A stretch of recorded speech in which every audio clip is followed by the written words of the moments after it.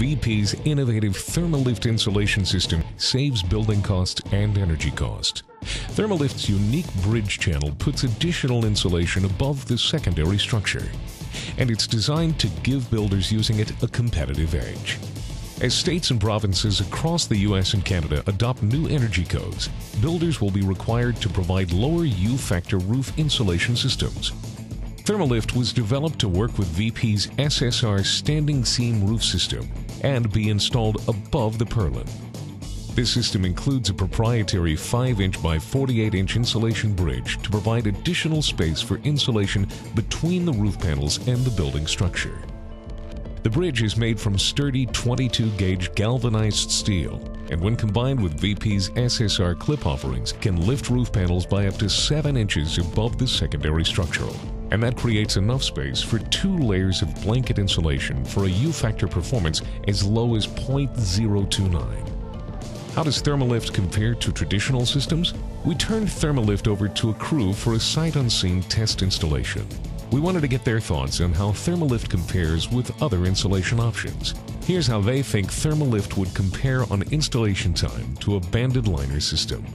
Thermalift would take less, probably about 40%, so we'd probably be looking at about 60, 65 man hours. VP's Thermalift insulation system is compatible with a variety of structural options including purlins, wide bay truss purlins, and bar joist. And because it's engineered to be installed above the building structure, Thermalift eliminates the need for banding and reduces installation time and costs when compared to other alternatives. Have no gaps.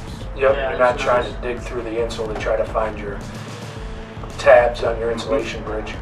Okay. Easier to handle. I mean, I know I said earlier it's costing you man hours because you're rolling out three runs an inch for every four foot, but they're small enough and light enough to where even though it's more labor, it's not difficult labor. You know, we're not struggling carrying around a six foot roll of insulate there. We're all just flipping a two footer, you know, down. So while it is extra labor, it's not tough labor. And a crew can become proficient with installing Thermalift with just a few hours of practice. Starting and ending a roof always take you longer than you think, and to really get running, you're gonna be in for a third of a day doing either of those. By the time you start and run through the rest of that full day, come back the following morning, if everybody was there the day before, they're gonna know what, what role to step into. Thermalift is compatible with VP's Prismax SL daylighting product, DuraCurb, and roof accessory items. It helps avoid having to weld or use mechanical fasteners. And the SSR roof system has four sizes of clips for varying insulation thickness. Clip sizes include 3.5 inches, 4 inches, 4.5 inches, and 5 inches tall. Your clips are really nice. They're very easy to just, it's just that bot, the back tab, very easy if you line it up, it's just, oh, you can always hit it. Yeah, we didn't have any that weren't locked in, like No. the old it's- style. it's Once in a while, Super easy, you gotta it's go. idiot proof almost. Yep. Cause you line it, that groove and that, that back tab just makes it, if you line it up between the clips, you'll hit it every time. Thermalift's 22 gauge galvanized steel works with a number of structural options. Designed to be efficient, Thermalift achieves compliance in climate zones with high thermal demand and is a cost effective roof system that more than meets tough energy codes.